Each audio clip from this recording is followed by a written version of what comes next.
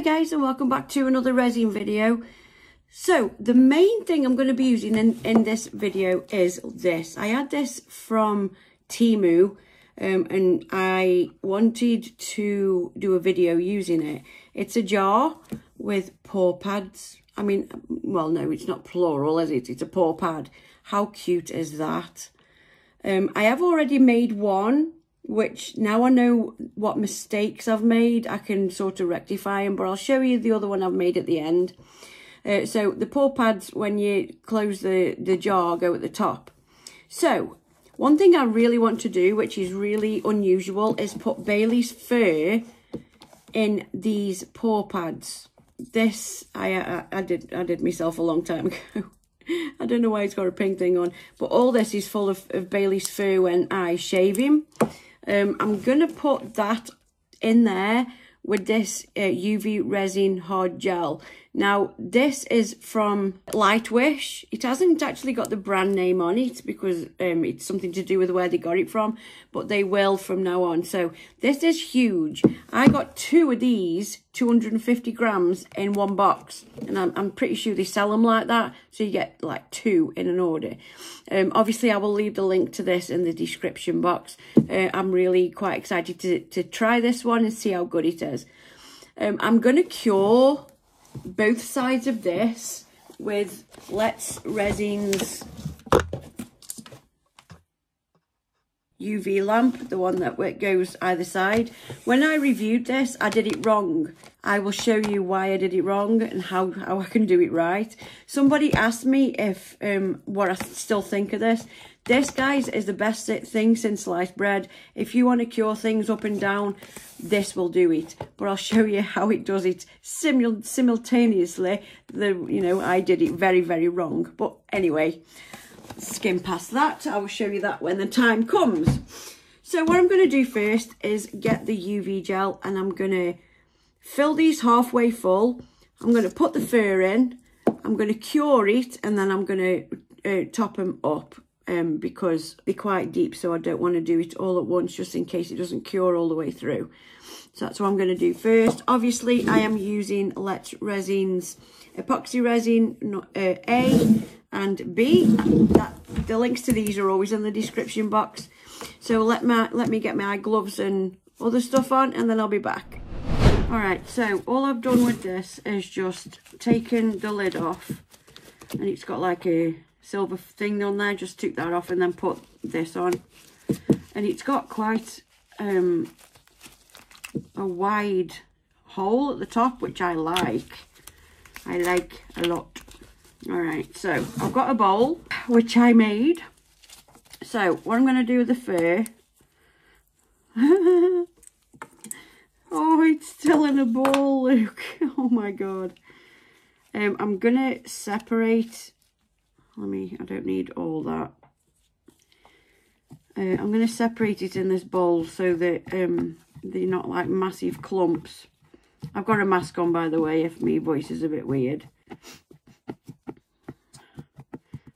I don't mind some big clumps, but um, I don't want it like, oh, well, one hair there and I'll put one hair there.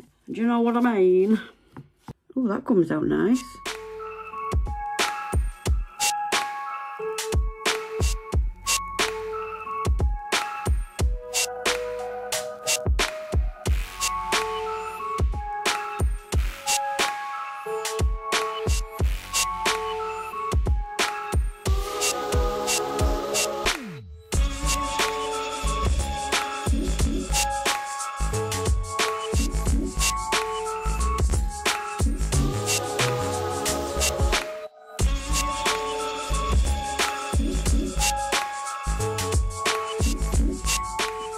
Happy with that. So I'm just going to get my UV lamp and I'll show you how to do it properly. All right, so what I did last time, you see these? These have got one at each end. I just didn't bother doing anything with, with these. So I'll move them all. I'll, it's still magnetic. And then I'll plug it in. And what happened last time is just one came on and not the other, okay? So what you have to do is these here, there's two there, and there's two that side. These are outies and them are innies. And then these are out outies and then they are innies. So you do them opposite, right? Make sure they're like this. Turn them over, push it down. Well, not push it down, it's magnetic. Plug it in, turn it on, and both of them work. It's genius. It is honestly a genius idea. This is brilliant for uh, UV resin. Fantastic idea, honestly. Right, so there's also a plate. There's a little ridge, the, that side there.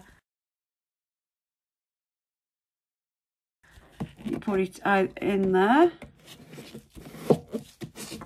like that. So you can put your items on. So I'm going to get that, make sure it's all pushed down. So I'm going to put it on and then I'm obviously going to cure it the upside. What? The upside, what? The top and the bottom at the same time and I'm going to do it for, I'm going to do it for five minutes just to be on the safe side and then I'll be back. Now we pl plug it in first, Nick. Oh my God. Honestly. Right, here we go. There we go. So that's now on five minutes. So make sure it's in there straight. Uh, and I'll be back in a bit. All right, I don't want it for the five minutes, so I'm going to turn it off. So you turn it off just, I've done two, three, five, off. So that's how you turn it off. That should be um, pretty well done now, which it is, which is good. Cool. Right, put this to one side a minute. So just to let these uh, paw pads cool down a little bit before I put some more on top. I am going to do this one here.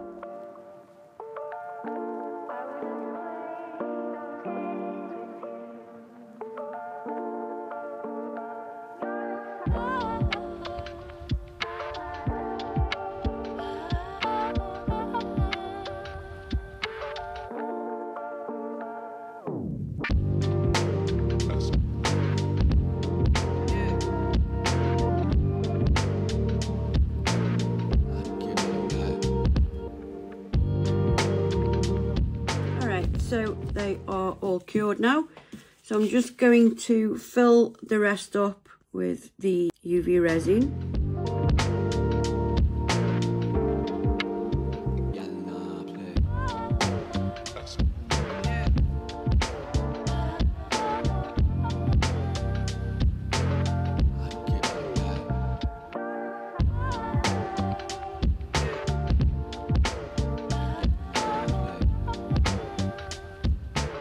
So I'm just going to leave it to settle for a little while and then um, I'm going to cure it again for, I am going to do it for five minutes this time to make sure that everything is nicely cured.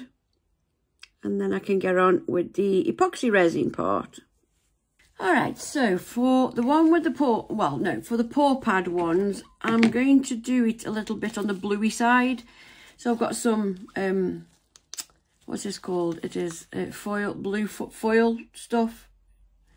I'm going to put a little bit of each of these glitters in and then I'm going to put the tiniest little bit of Let's Resin's dark blue uh, mica powder.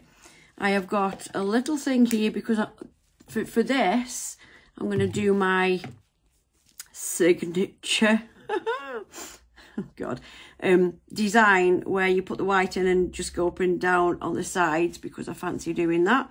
So I have got Let's Resins, what's this? It is um, Ocean White uh, pigment.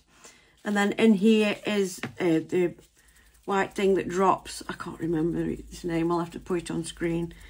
Uh, so the let's the, the epoxy resin has been in a bath for the last 15 minutes.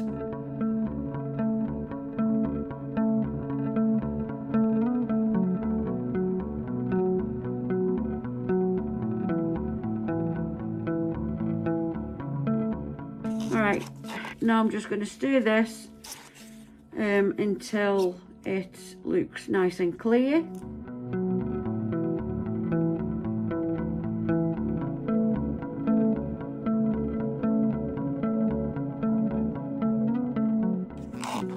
Bit of resin in here. I don't need a lot, but you've got to put enough in for everything to stir around.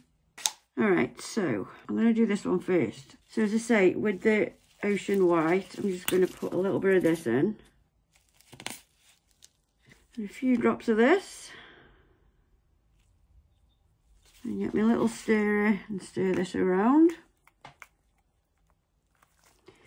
Make it nice, brilliant white. So now in here, I'm going to put a few odds and ends. Our hearts beat to the city streets. We began to feel the fire. Little tiny, tiny bit of mica powder. Tall buildings as the chemicals that take us higher. So the mistake I made last time, there's a lip under there. Um, I didn't get all the bubbles out of the lip. So I will try my best with this one.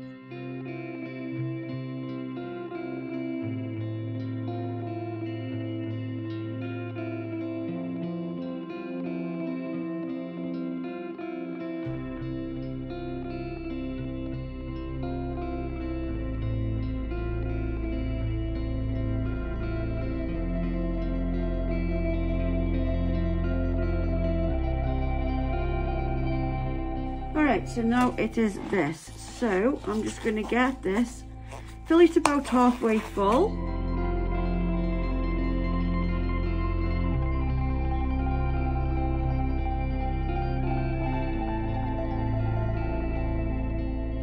So now I'm going to bring you down a bit. I'm going to mix this. Right, so I'm going to just pour a, a little layer all the way around.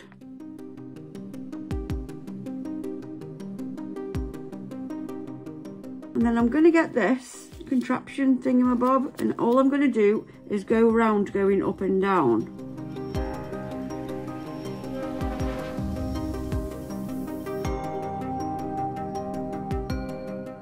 And then I'm going to fill the rest up. Alright, so it's on the heat mat. Um, I used to have a silicone mat, but I gave it my grandma. I'm not even thinking don't need it for this. But that's why I have it on low, so it doesn't burn the moulds. As I say, I have done this with another one, so I know it doesn't burn it.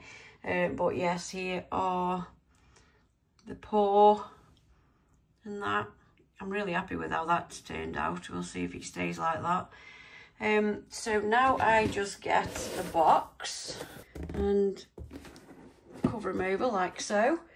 And then I will leave them here for the next four hours or so. Right, this is a few hours later now, so these are dry. They're still going to be a little bit on the soft side.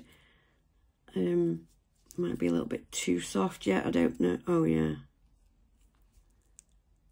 Mm, very, very soft. I might leave the other one, might leave this to harden up a little bit.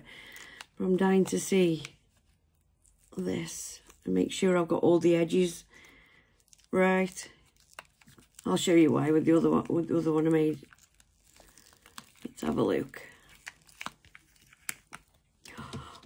Oh my God. Can you see that? No, oh, that looks so cute.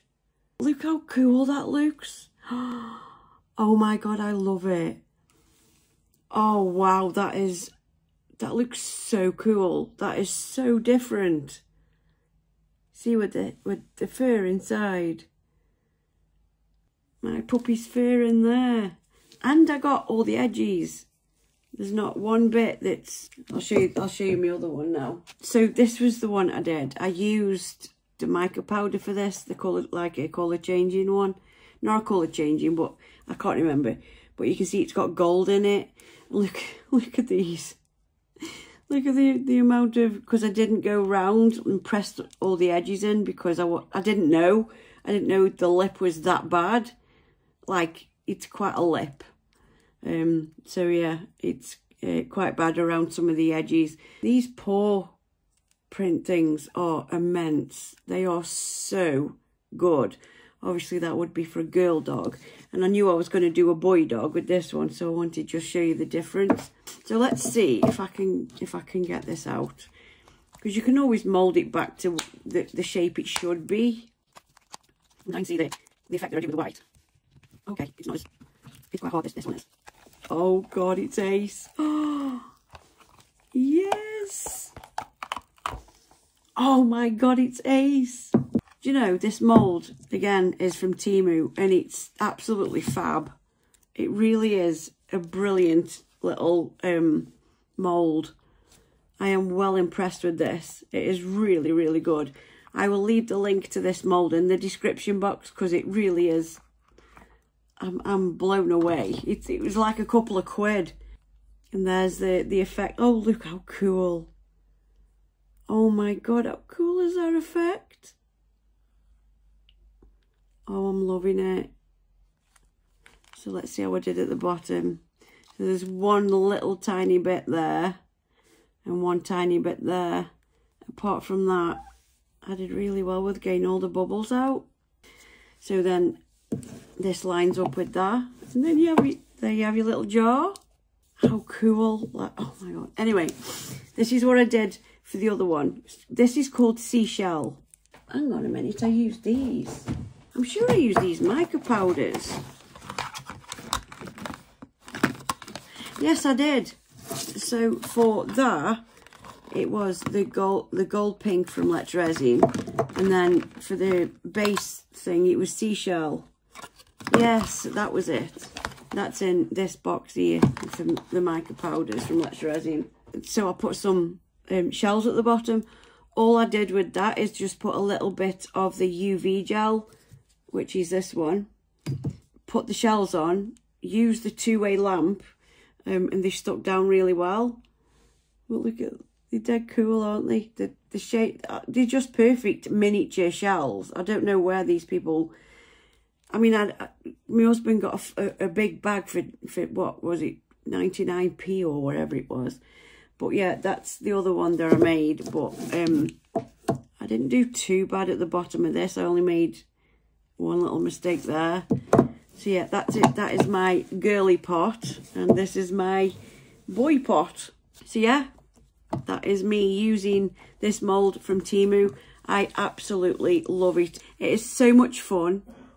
Um, I, I will definitely use this again because obviously the pots come in handy. I love I love doing stuff where you can use it and then you've obviously got your memory of, say you, you put little puppy dogs died or cat and you've got their fur in there forever.